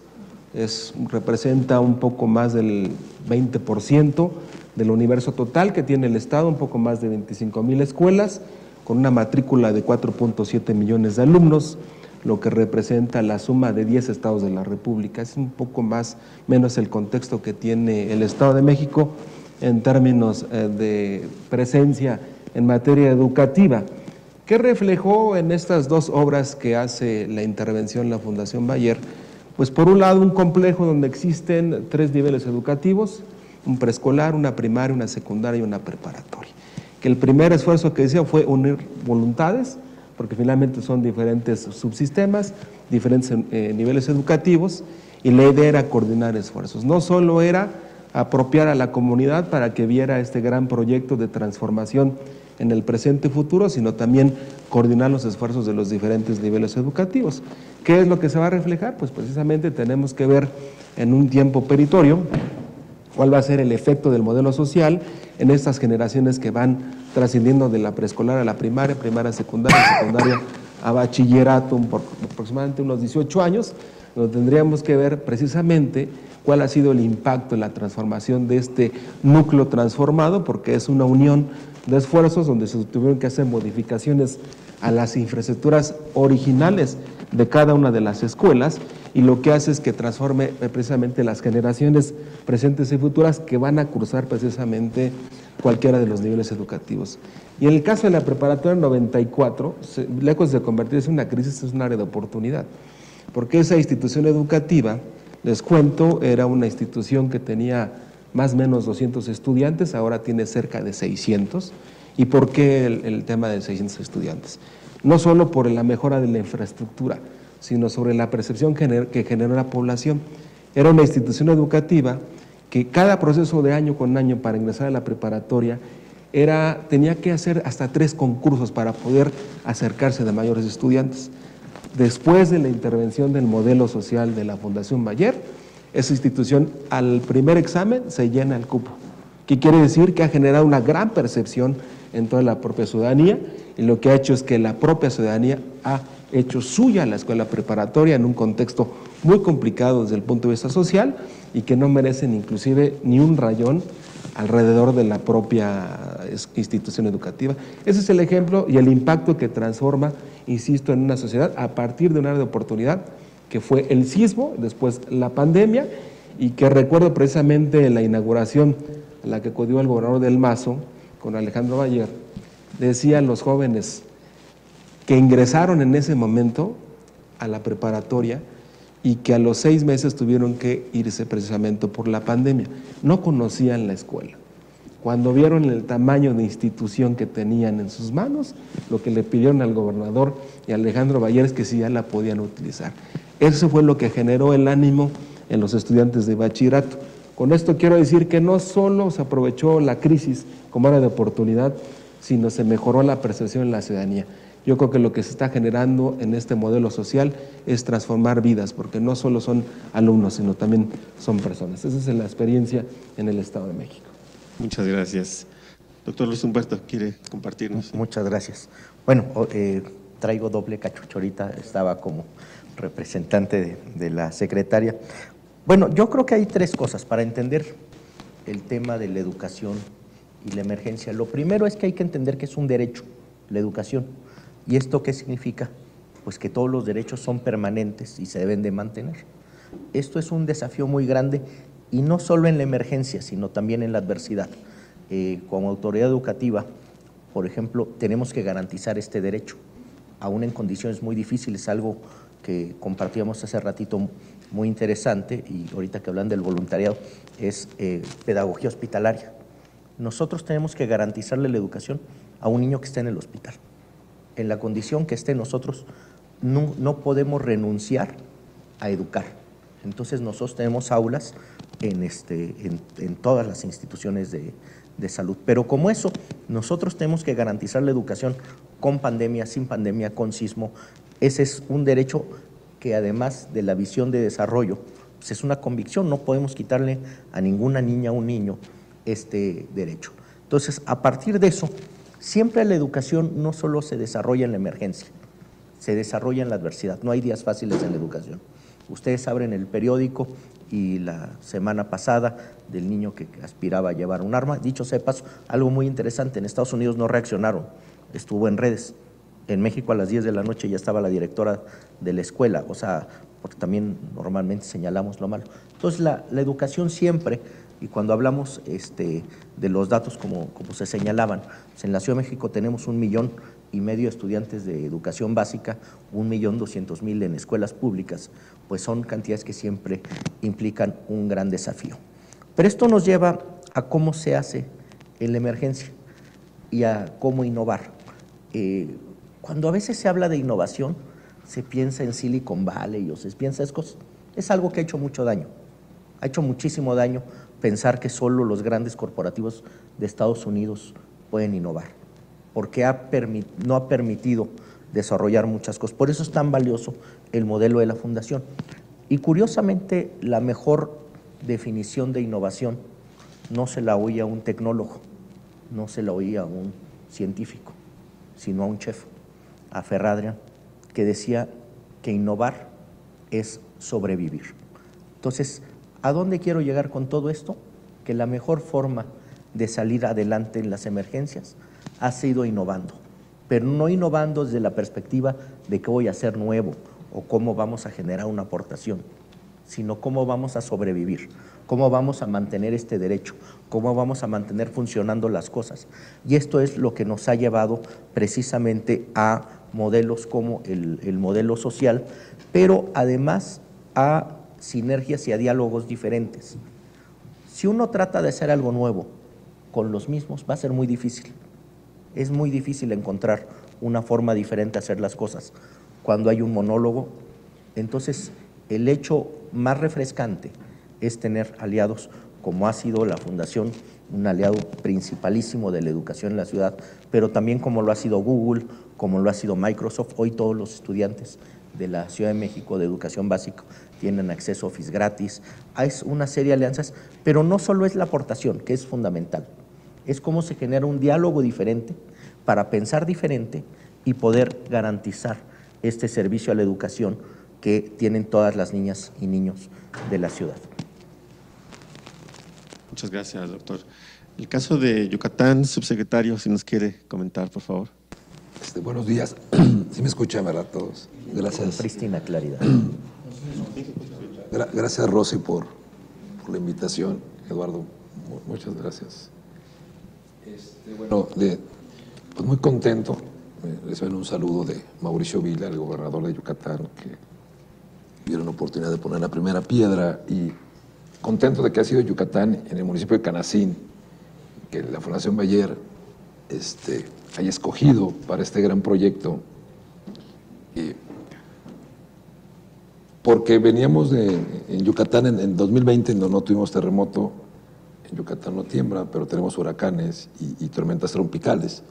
Y en el 2020, eh, particularmente junto con la pandemia, el Estado se vio afectado por dos huracanes y por cuatro tormentas tropicales que dañaron mucho toda la infraestructura, no nada más escolar, sino del Estado y, temas de agricultura. Y, bueno, e, es, es, es, un componente que nos pone en crisis constante. Hoy, hoy se anunció la primera, el primer huracán que llega al, Estado, estamos todavía en mayo, acaba en septiembre entonces sí vivimos en una, en una crisis junto a la pandemia. Y una de las, de las inquietudes del gobernador del Estado siempre ha sido, de, de manera directa, eh, dos aspectos. Primero, el, el aspecto académico, que es el rezago educativo y el abandono escolar, que es una realidad en nuestro Estado, queremos que también en el país. Y otro tema es la atracción de inversión y de infraestructura a través de la formación dual de nuestros jóvenes de bachillerato.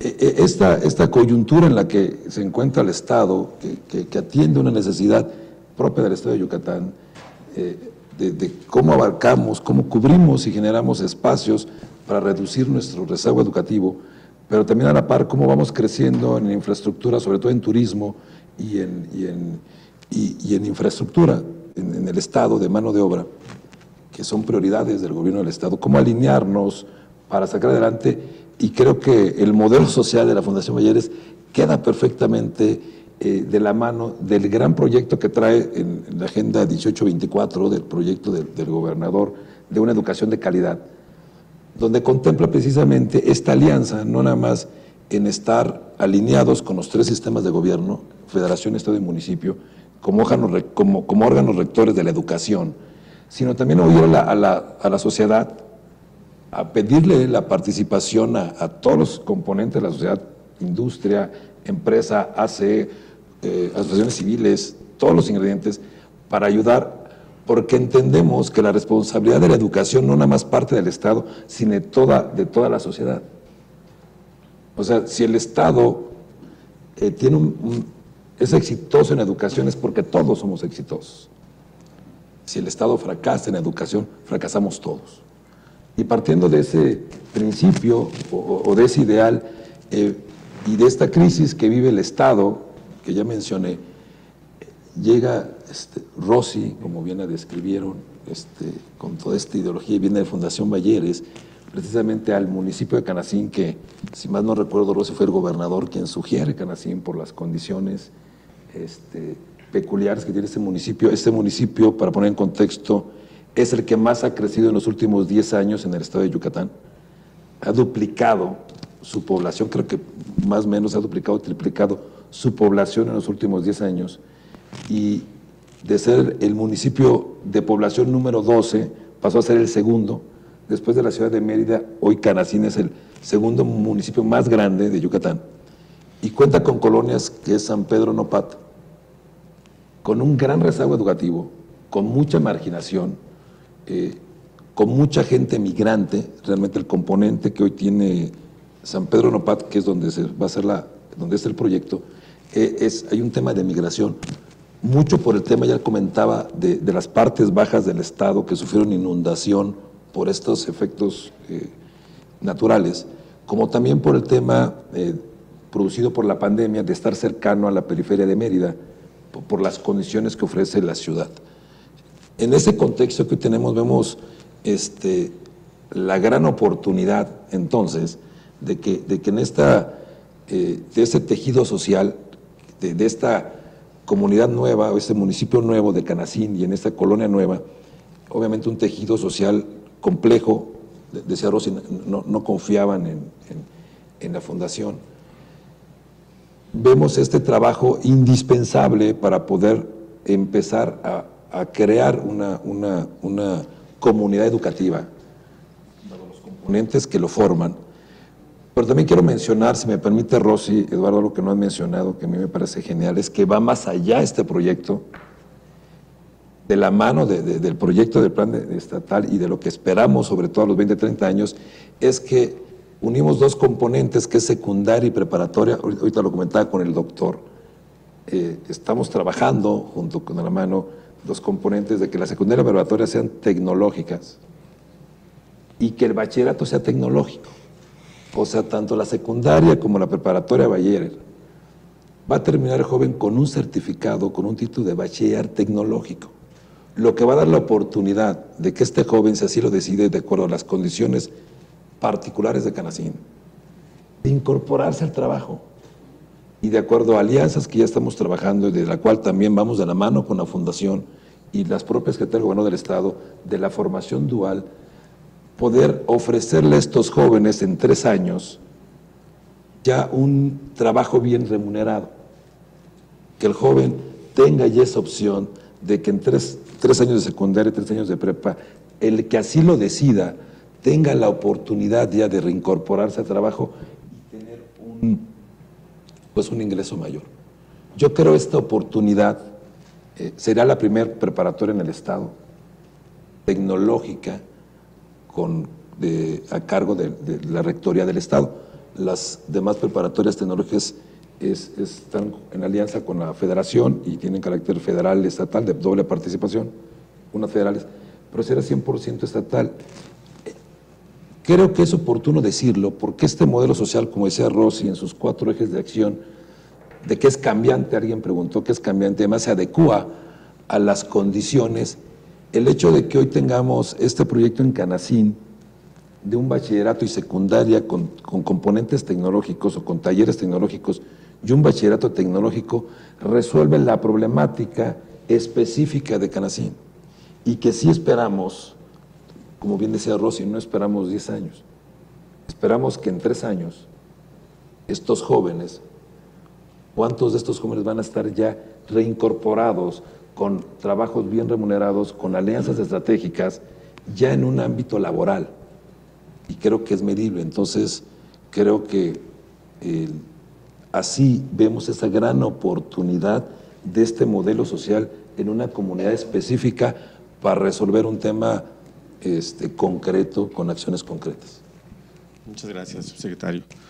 Bueno, quiero aprovechar este comentario eh, relacionado con las alianzas sociales para introducir al segundo tema que tiene que ver precisamente con crear esos acuerdos, esas vinculaciones entre diversos sectores para avanzar hacia los objetivos de desarrollo, de transformación y superar los momentos de crisis. Y para ello quiero invitarlos a ver este pequeño video también como introducción al tema. Por favor, si, si nos pueden. ¿Ya no? Muy bien. Bueno, bueno. Entonces, bueno, entonces voy a comentar un poco acerca de, este tema, de la importancia que tiene este tema para las Naciones Unidas. Ustedes saben que el Objetivo de Desarrollo Sostenible número 17 se relaciona con eh, la construcción de alianzas. ¿En, qué se tiene que aliar eh, las personas, las comunidades, los países para lograr los objetivos? El Objetivo de Desarrollo Sostenible 17 habla de cuatro componentes. El primero es de la cooperación financiera. Sin el financiamiento de los proyectos es imposible avanzar. El segundo es desarrollo tecnológico. El tercero, creación de capacidades, de conocimientos especializados. Y el cuarto es el de las alianzas sistémicas entre las esferas público, privada y de la sociedad civil. Ese, tejido es fundamental para avanzar en los propósitos de desarrollo sostenible y la UNESCO recientemente ha planteado en un documento que se llama Futuros de la Educación que presentamos la semana anterior, de que todo eso requiere de un nuevo contrato social, que sea amplio y que parta desde las comunidades escolares. Eh, teniendo este principio y esta prioridad en el escenario, la siguiente pregunta tiene que ver con precisamente cómo avanzar en estas alianzas y qué experiencias, qué prácticas podemos recuperar de cada una eh, de, los ámbitos de acción de nuestros panelistas. ¿Qué prácticas nos pueden comentar acerca de la construcción de alianzas en los diversos ámbitos en favor de la educación y de la transformación social? Entonces, por favor, quisiera nuevamente pedir su participación. Sí, cómo no, muchas gracias. Bueno, pues a través de los proyectos hemos logrado varias alianzas en diferentes ámbitos. El primero que quisiera yo decir es con las autoridades. En particular en los lugares donde desarrollamos los proyectos tuvimos muchos problemas de seguridad y de acceso. Entonces, la cuestión, por ejemplo, en el caso de la escuela primaria Amado Nervo, que estaba en la punta del cerro, el acceso para llegar a ese lugar, y no sé si algunos conozcan ese camino, eh, es muy complicado para efecto hasta de llevar material a las obras. Les platico un ejemplo, tuvimos en el caso de las varillas para construir la estructura de las escuelas, tuvimos en medio, a la mitad del trayecto, tuvimos que cortar las varillas a la mitad, cambiarlas de transporte, o sea, en un transporte más chico, para poderla subir hasta la parte superior del cerro. Eh, y esa fue otra lanza, además de las autoridades, con nuestros contratistas y proveedores. Tuvimos que lograr todos estos esfuerzos para que pudiéramos llevar a cabo la escuela allá arriba. Ustedes ven por ahí y vieron en el video la escuela, es la que tiene la lonaria en la parte de arriba. La verdad que es una escuela, además de arquitectónicamente muy bonita, genera un impacto en la comunidad visual impresionante. Y entonces muchos nos preguntaban cómo pudieron construir eso en la punta del cerro. Pues gracias a estas alianzas, primero con nuestros contratistas, después con las propias autoridades que nos permitieron incluso en condiciones de seguridad hacer accesible el camino hacia allá. Déjenme platicarles que tuvimos y sufrimos de todo. Tuvimos eh, robos en la obra, incluso con pandillas organizadas. Les platico de un caso en donde llegó una pandilla con un camión en la noche en la escuela, se metieron a la escuela, amagaron a nuestros veladores, los amarraron, los metieron en una bodega y después metieron el camión y sacaron las herramientas y materiales de los contratistas. Entonces imagínense ante ese tipo de condiciones cómo estábamos en esa situación. Tuvimos una amenaza por escrito de uno de los cárteles más famosos por aquí que ahora están generando mucho problema, por escrito de incluso nos los pusieron en la puerta de que nos retiráramos de ahí. O sea, tuvimos muchas amenazas en cuanto a seguridad. Pero gracias a las alianzas con las autoridades y después con la comunidad, pudimos generar una transformación en ese sentido, tanto que después de pasar de un clima muy complicado de seguridad, pudimos llegar a estar en una condición muy segura, entre comillas, como para poder continuar la obra y poderla terminar en ese sentido. ¿no? Entonces, eh, y por último, también hicimos una alianza muy importante con la comunidad, porque incluso participaron en parte del proyecto o de los proyectos arquitectónicos. Nuestro concepto de proyecto en las escuelas implica que hay una parte de la escuela que se comparte con la comunidad. Logra tener accesibilidad a la comunidad sin interrumpir las actividades escolares. Hay una parte de las escuelas que es la zona que le decimos de usos múltiples, donde hay un auditorio, hay una cocina, hay unos laboratorios que pueden tener acceso a la comunidad para poder llevar a cabo actividades con la comunidad y que se logra esa integración. Y esta parte la pudimos planear en conjunto con la comunidad y la pudimos llevar a cabo en las escuelas de forma tal que está funcionando ahorita y algunos de los eventos que vieron ustedes en el video ya son la comunidad haciendo uso de estas instalaciones. Entonces, en general, estas tres alianzas que estoy ahorita tratando de describir son las más importantes en todo este proceso de construcción y que nos permitieron llevar a cabo eh, la construcción de las escuelas. Muchas gracias, Juan. Eh, subsecretario, por favor. Gracias. Hablar de alianzas implica muchas cosas. Creo que en el ámbito educativo es fundamental. La primera alianza que se hizo en el marco de la educación la hizo José Vasconcelos en el año 20, precisamente para darle impulso a la escuela rural y tuvo que incorporar al sector industrial y textil para poder darle auge al tema de los eh, propios eh, habitantes de esa época, de los 20 y los 30. En el 2000 eh, se creó, 2002 se creó la primera Alianza Mundial para la Educación, precisamente en este año cumple 20 años de su existencia y ha dejado muchos desafíos precisamente para poder impulsar la educación en el mundo. El tema educativo no es un tema responsable del Estado, requiere la participación del sector público y privado para poder transformar precisamente el ámbito social. Decía hace un momento Juan el tema de las alianzas con las autoridades. Efectivamente, el contexto social en donde se ubica una de las escuelas beneficiadas por la fundación, existen grupos sociales de choque que hacían y se apropiaban la propia eh, institución educativa para efectos de gobernabilidad. Pues para eso también se tuvo que hacer una alianza con unos actores políticos que permitiera, insisto, darle gobernabilidad, avanzar con la construcción y, por qué no decirlo, también darle fin al propio proyecto. Eso también es una alianza importante con otro grupo social y lo que ha permitido, insisto, es transformar esta parte de la educación en ese municipio que es Ecatepec. ¿Por qué es alianza importante en el tema educativo? Porque el sector privado es importante y el sector social también tenemos un proyecto en el Estado de México que se llama educación dual, que lo ha impulsado también la propia CEP, nace en el Estado de México con una empresa alemana que implica la incorporación temprana de los jóvenes de la educación media superior y superior al tema de la práctica. Eso es una alianza importante. Actualmente el Estado de México aporta el 20% de la matrícula en el tema de la educación dual y lo que hace es transformar, porque no solo se comprueba lo que se aprende en las aulas y se demuestra en la industria, pero eso permite también que los jóvenes alcancen el tema de la empleabilidad en el corto plazo. Eso es una demostración más el tema de la alianza en ese sentido. Y la pandemia también dejó que es importante la alianza. Ya comentaba nuestro amigo Luis Humberto el tema de Google, de Office, de lo que es Microsoft, que fueron los principales aliados para poder impulsar la educación a distancia. Como se puede apreciar, sin lugar a dudas, no se puede avanzar solo y más en el toma educativo se requiere de la participación constante de la amnistía privada y por supuesto de la organización civil para poder avanzar juntos en este tema de la educación de calidad, que es lo que se persigue en este gran proyecto del modelo social de la Fundación Alberto Valle. Muchas gracias, doctor Luis Humberto. Muchas gracias. Yo, yo me iría un pasito atrás, porque podemos hablar de alianzas, pero creo que es un concepto que se queda corto. ¿Por qué?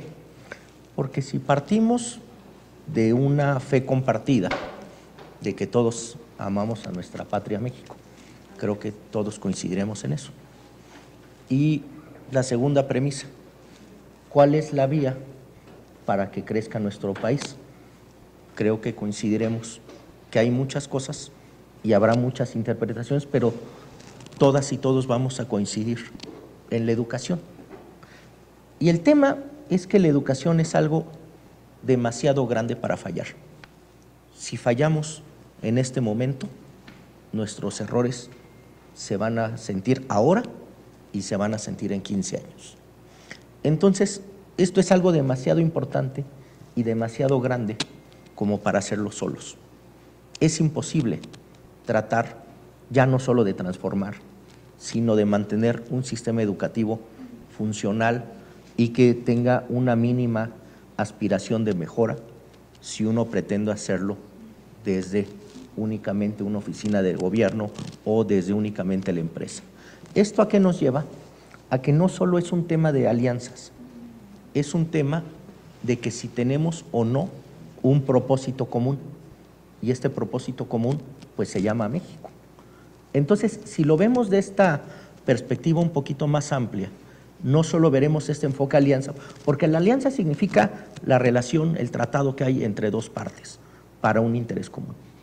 Pero si lo vemos más grande como un propósito nacional, como un propósito común, en este caso, en, mi caso de lo que a mí me toca de la ciudad, pues la idea es pues precisamente cómo construimos una ciudad que enseña y aprende. Les doy un caso muy sencillo.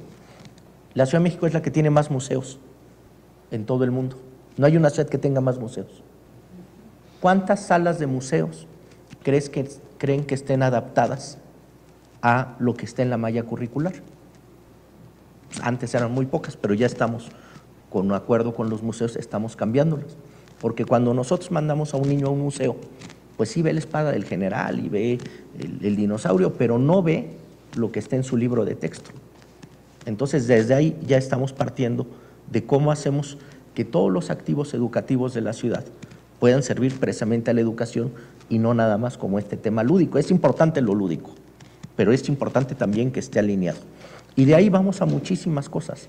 Entonces, a lo que quiero llegar es que no se trata solamente de cómo juntamos dos esfuerzos, porque entonces tendríamos una suma aritmética y que sería muy limitada. El tema es cómo generamos una gran sinergia nacional, una gran sinergia en la ciudad, en la cual todos los que podamos aportar, aportemos a la educación. Ahorita que hablan del voluntario, y no es de, eso, pero imagínense si cada uno de los profesionistas exitosos que ha dado la escuela pública se acercara a su director y le dijera, oye, te ayudo con el papel de baño, te ayudo con detergente, ¿en qué te ayudo? O sea, no estamos hablando nada más de la alianza de sí, sí, como señalabas, Microsoft, los grandes. Pero si aportáramos con estas pequeñas cosas, con este voluntariado que se comentaba, pues se va a hacer una gran transformación. ¿Por qué? Porque tiene que ver con cuál es el concepto que tenemos de lo público. O sea, no es lo otro, es lo nuestro.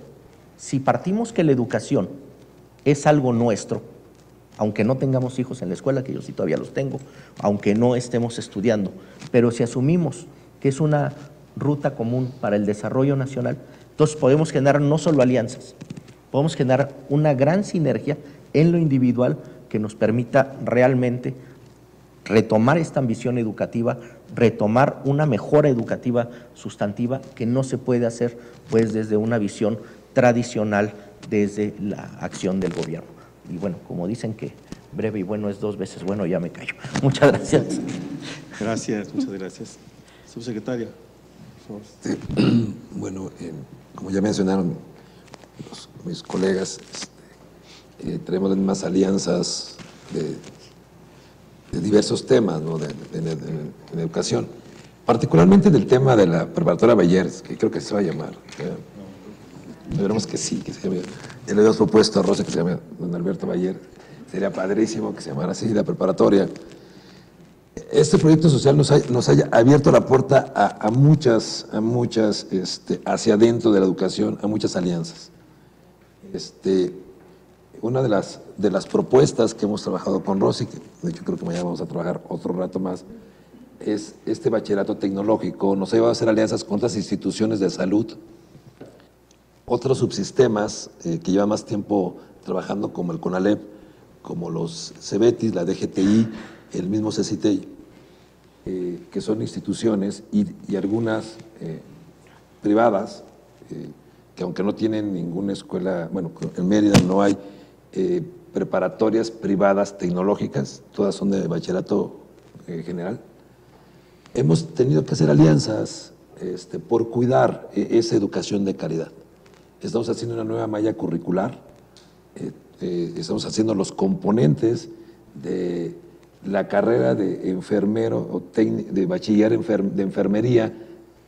Nos ha llevado a hacer alianzas, como repito, con la Secretaría de Salud del Estado para revisar los componentes, con, con enfermeras, que son las que nos están ayudando a hacer esta nueva malla curricular eh, que sea de utilidad. Y y creo, como decían mis, compañeros, que todas estas alianzas con la iniciativa privada, con las instituciones educativas privadas, e, es necesaria y así lo entendemos. Eh, es una frase que acaban de decir, o sea, lo público no es lo otro, es lo mismo. Y, me parece genial que todas esas alianzas y buscar esta educación de calidad, eh, eh, en, Yucatán nos están apoyando muchas instituciones eh, la Universidad Autónoma de Yucatán nos, ha estado apoyando, tenemos, eh, repito, instituciones privadas, y creo que, que este modelo social, la iniciativa privada que son ustedes, nos ha abierto el abanico de que tenemos que tocar todas las puertas. Hoy hablamos de, de la gran función de nosotros los directivos de educación pública, es la gestión, y es, y es buscar y tocar todas las puertas y pedirle al alcalde de Canacín que nos donara el terreno de, de Canacín y hoy tenemos un gran terreno en Canacín porque el, el, alcalde ahí junto con otras personas nos ayudó y nos ha ayudado a los trámites para que sea, el, el sea rápido el tránsito de, de, esta nueva institución. Y también la federación ha hecho lo mismo a través de los reboes que hemos solicitado para autorizarnos. Las... Entonces, eh, creo que, que si de alianzas hablamos de esta Fundación Mayores, tocado nuevas puertas para la educación, en pro de la educación, en pro de este gran proyecto, el cual vemos con grandes ojos, y creo que, este, que tendremos desde donde estamos como gobierno del Estado, haciendo nuevas alianzas para bien de la educación de calidad. Muchas gracias. Bueno, quisiera brevemente llamar la atención sobre cuatro puntos que han mencionado nuestros panelistas. Primero, el tema de la educación como un derecho para toda la vida, que nunca termina, como bien dijeron, porque la educación no solamente es así para toda la vida, sino que también puede salvar vidas cuando se actúa a tiempo y de manera estratégica.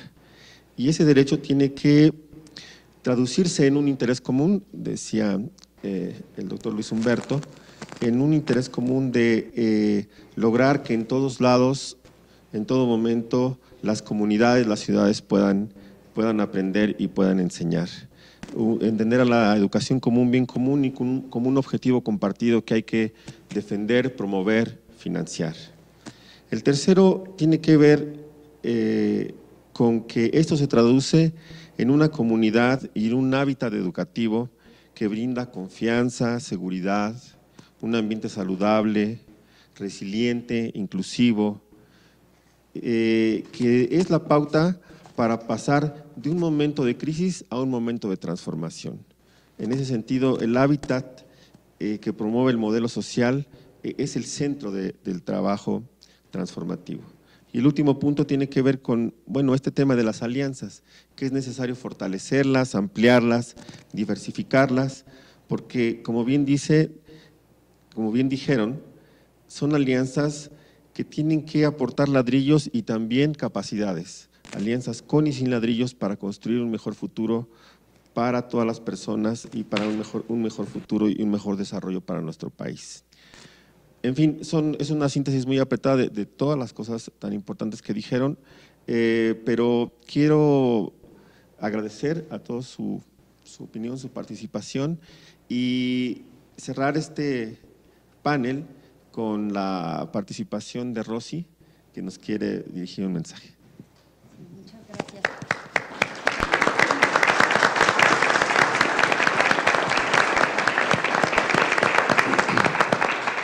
Bueno, para poder brindar este mensaje de cierre, ya estamos a punto de concluir nuestro evento, me gustaría pedirle a, nuestros panelistas si me acompañan a ponerse de pie.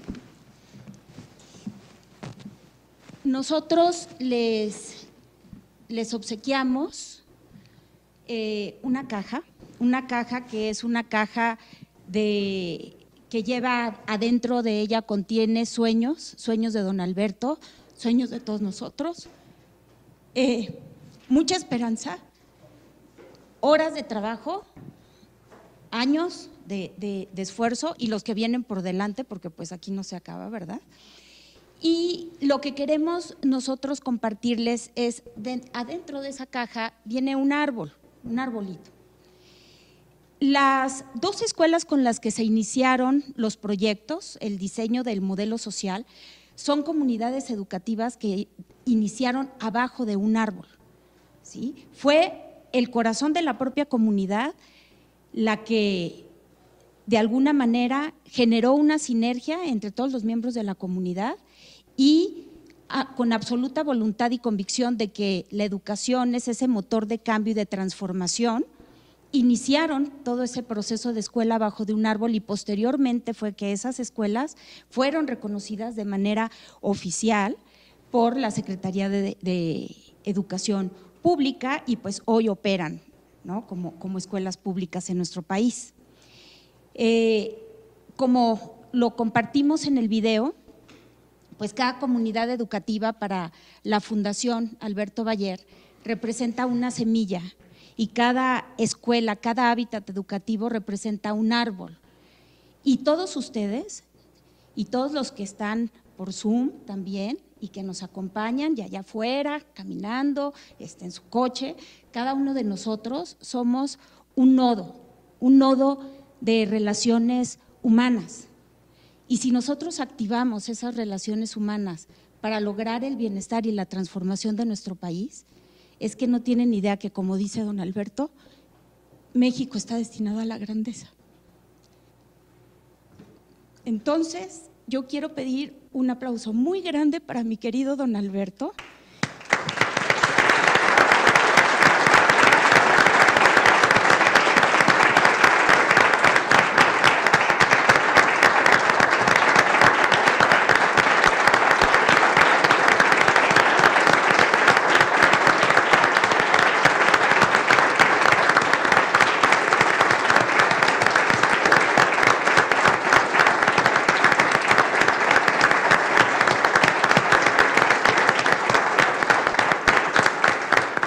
Porque nos dejó infinidad de semillas.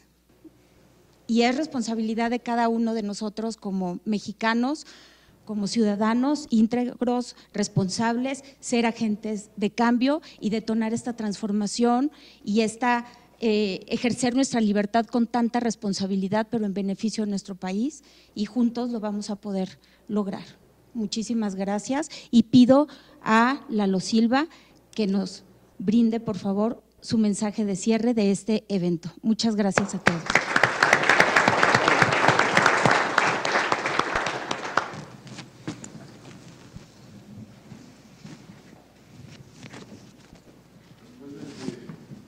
Después de este evento, pues me queda un enorme compromiso de lo que viene. En realidad, creo que lo que tenemos ha sido muy poco. Y, lo digo en dos sentidos. Primero, pues hacerle honor a la voluntad y al legado de don Alberto Valleres, que pues no solamente es el legado de palabras, sino de hechos de compromiso y de recursos para poder continuar con esto. Entonces tenemos los que trabajamos, colaboramos con la Fundación, un gran compromiso con él.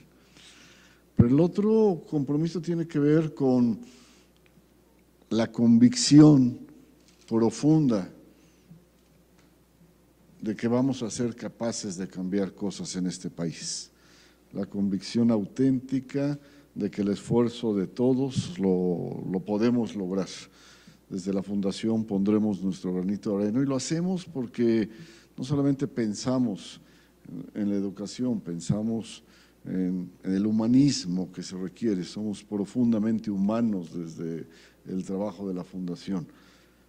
Y sé que requiere las dos cosas, requiere un talento, requiere un pensamiento analítico, un pensamiento sistémico, pero también requiere emociones, convicciones, este, sentimientos. Y lo tenemos que lograr desde las dos cosas. Entonces, a todos ustedes, sé que pronto les daremos guerra y siguiendo las, eh, los deseos de Arturo, buscaremos la manera de ser más incluyentes en todo el grupo, pero no más en todo el grupo, con todas las organizaciones. Y lo hacemos con esa convicción, con el amor a nuestro país, pero sobre todo a las personas y a los niños que están en las escuelas y que pues es el futuro de, de, todos nosotros.